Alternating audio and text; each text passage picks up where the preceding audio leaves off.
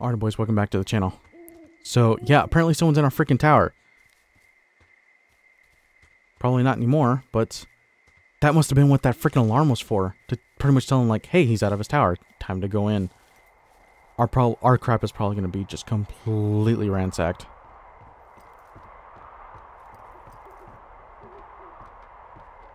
No. It's not. Wait. Taped Walkman?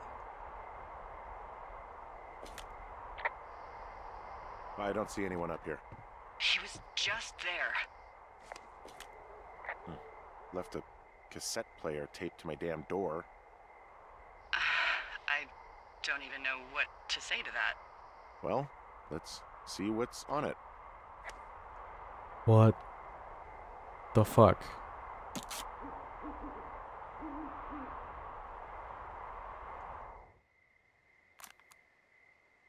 I'm so sick of letting these people do this to us. We should just burn the place down. The grass is dry as hell here. It would go up in a second. Holy shit. Tape of us talking down at the site. It sounds like it was recorded from somewhere nearby. Oh, Jesus. Yeah, So our radios are fucking useless. it sounds like we were the ones who burned it down and that it was your idea. No. We are screwed. No! Dee, just don't freak out, okay? Don't freak out. Oh my god, what the fuck is happening, Henry? What the fuck is happening, guys? What the... What? Oh my god, day 78. There's something in the of letting these people do this to us. We should just burn the place down. The grass is dry as do this to us. There's something in the background. Burn the place down. The grass. I think I'm gonna be sick. Burn the place down. The gra- So your little bender isn't looking like such a good idea under the light of a new day, huh? No, it isn't, but that's not it. Someone claiming to be Henry in Two Forks called a lookout in another sector early this morning and said that I knew what caused the Wapiti Meadow fire. Um, So I just got off the horn with that lookout who's wondering what I know, or that I'm an arsonist, or that I'm fucking losing it. Furthermore, I bet you don't have the only tape of us from last night, so someone has evidence to back it up. We need to find out what someone's been keeping in that cave. I'm going down there now. We don't have a lot of time left out here, and if we don't find some fucking answers, when they lift us out of here, it's gonna be in handcuffs. We just, we have to stick together, okay? Keep our story straight. From the first day with those girls to the person breaking in on our conversation, everything. We just, we gotta be honest and consistent. Yeah, I suppose you're right. I know. Wait. I have a light in this thing. What the crap? I have never once flipped that freaking switch. Anyways, alright, let's go, boys. Got time to go find out what the hell's in cave 452. Flapjack fire.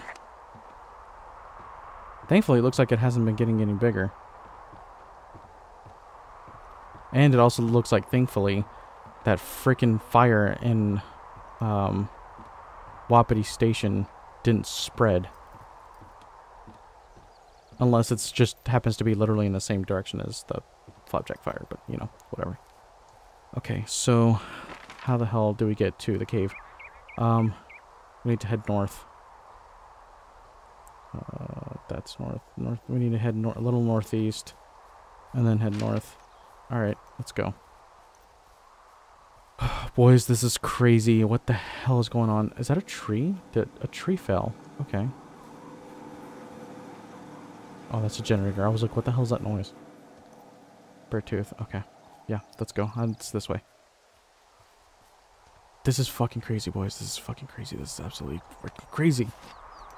Some lunatic is recording our conversations and is sounds like is subtly threatening to blackmail us. What's crazy though is I don't understand why. Like why? What who the hell was running Wapiti Station? Why what, what the hell was going on? Wait a minute. Do we know what today's date is? Do we do we even know what the date is?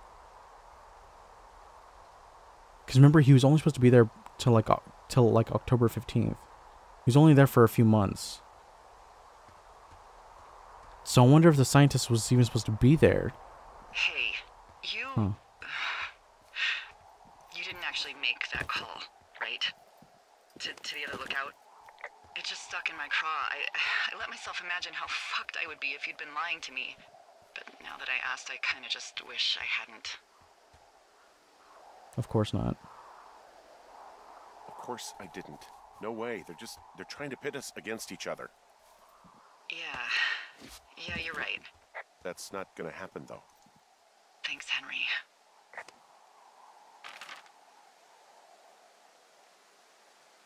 Okay, the fate, the oh, okay, my bad. It's right directly in front of me. I was gonna say the cave is just a little bit further. It's directly in front of me. I was literally staring at it. Okay.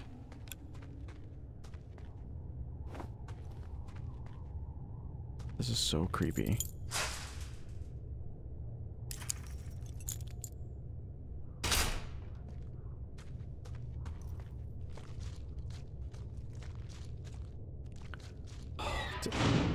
What the hell? That literally just closed behind me.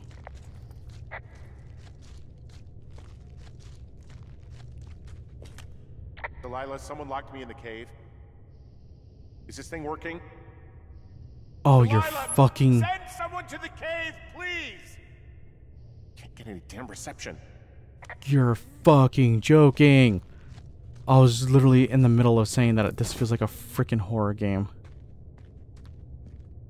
Long Jesus, this is a big cave. Loose rocks. Use Pulaski.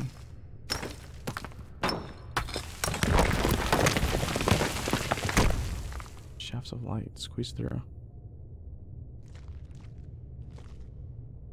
Okay. That's cool, boys.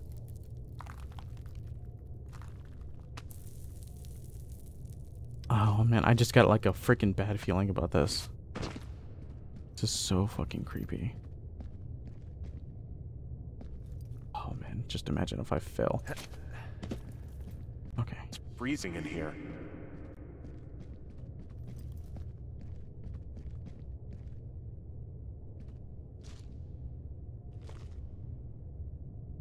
Anybody down there? A shoe? That is a shoe. What the hell?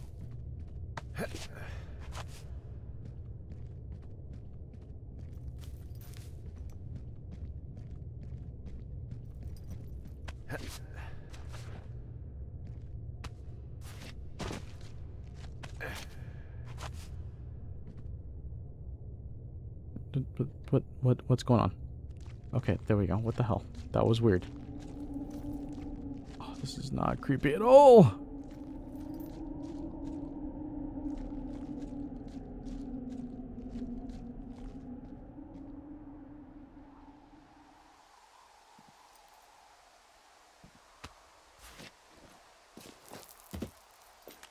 Hey, hey, are you there? Yeah, what is it? What did you find? Nothing yet because someone tried to trap me in there. You saw someone? No, someone slammed the gate behind me and then ran away. I found another way out, but if I hadn't, Jesus. So, you, so you didn't find anything? No, th- there's a spot where someone had sunk an anchor, but the hardware's gone now. I don't have any climbing equipment. I just have my ropes. I'm gonna hike back to Two Forks and see if I can find anything that could double as an anchor to use in the spot. Well, that doesn't sound dangerous. But no shit. Are you are you insane? Okay, where where where the hell are we then? Look at here. What the fuck is this? Delilah, I just found an outcropping that someone was using as a little fort. I think it was Brian Goodwin. Really? Yeah, he built himself a real castle. Animal nest? Five degrees north. He'd hide out here to read comics. The Black Band, his grief is his enemy's sorrow. Everyone this guy loves gets killed, so he honors them with a black armband which gives him superpowers. Well, that's fucking dark. No shit.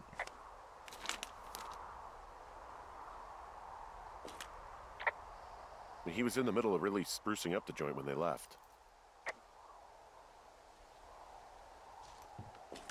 Bunch of rocks stacked up. He made a wall and a perimeter. God.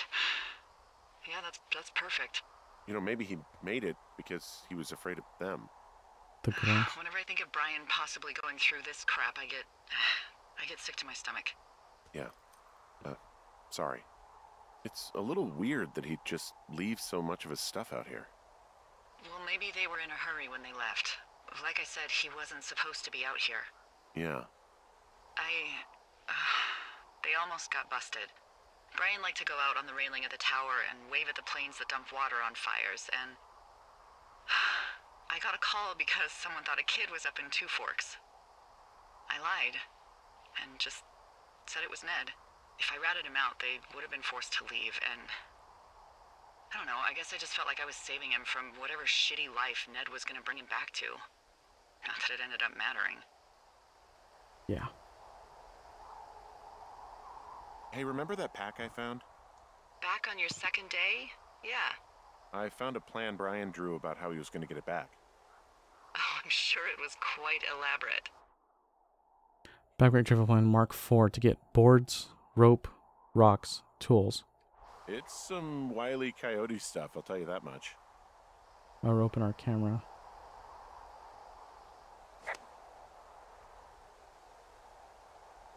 Yeah, no kidding. Sure is. Be be keeping that science homework. Um, Brian was doing a science fair project about bouncing radio waves off of a meteor shower. Poor kid left his homework? Yeah. He must have been pretty smart, huh? Yeah, sharper than a lot of the grown up knuckleheads I'm used to, yeah. Yeah, but not smarter than yours truly, right? Wait, are you seriously feeling threatened by the intelligence of a 12 year old you've never even met? I'm just saying I'm pretty, uh, you know, with it. I'm a pretty bright bulb. Yeah, Henry, you're a regular Rhodes Scholar. Nice. Nice. yeah, he must have been a pretty smart kid. I found an old school folder. Brian was a hell of a doodler. Oh wow.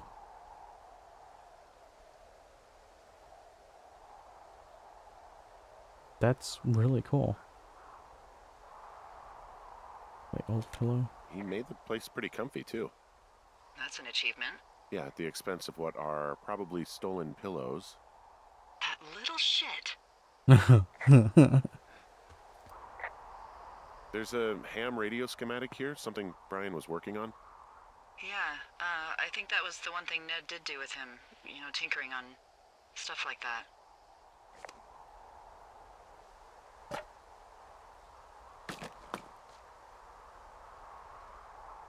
Aha. Alrighty, boys. I figured it out. I had to move that stupid sign. Okay.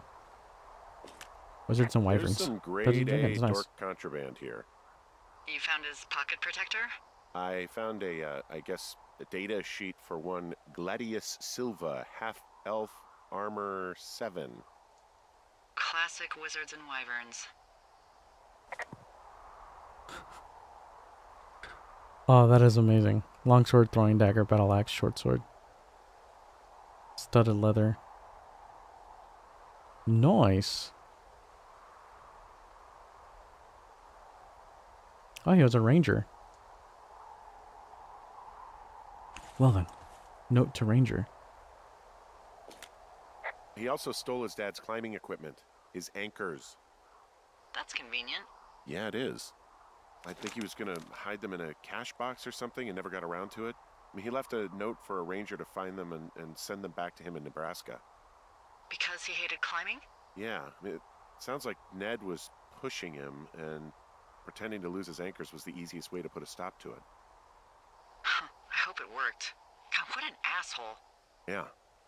Man, that is the sort of thing that would have caused me to catch a beating growing up. Yeah, well, I wouldn't put it past old Ned. Ranger, hi, my name is Brian Goodwin. If you found this note, it should be with a bunch of climbing anchors, I hope. Could you do me a favor and please return them to me, Brian Goodwin, in the mail? Uh, Nebraska. I'll give you a reward for this. You're probably wondering why I left these here. Well, they are my dad's, and I don't want him to lose them, but I don't want to do any more climbing on this trip, so I thought I should pretend to lose them. But if you help me get them back, everyone will be happy. Thank you for your time. Thank you, Ranger. Brian, P.S. The reward will be good. Aw, oh, poor kid. Okay, postcard. There's also a postcard here from Brian to, I guess, his neighbor. What's it say? That he's with his dad and sorry he can't mow his lawn this summer. Aw. Oh, gosh. And also, he was worried his dad didn't know when school started. I'd say that's a lucky break if I were him. Yeah, that doesn't surprise me. Ned didn't really seem like a, you know, with it dad. Dear Mr. Zackler, I'm with my dad in Lander, Wyoming. It's pretty neat. Dad fished uh, in a spot called Sinks Canyon. I mean, it looks like home in Nebraska, but there are mountains and woods when you go far. Um, I'm sorry I can't mow your lawn this summer, but I hope you found a good person to do it instead. Can you write back and tell my dad when school starts because I don't think he knows. Your friend and neighbor, Brian Goodwin.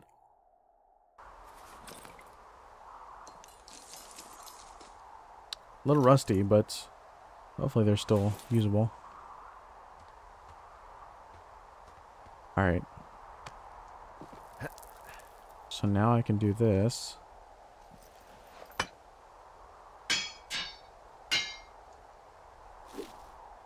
And I can rappel down.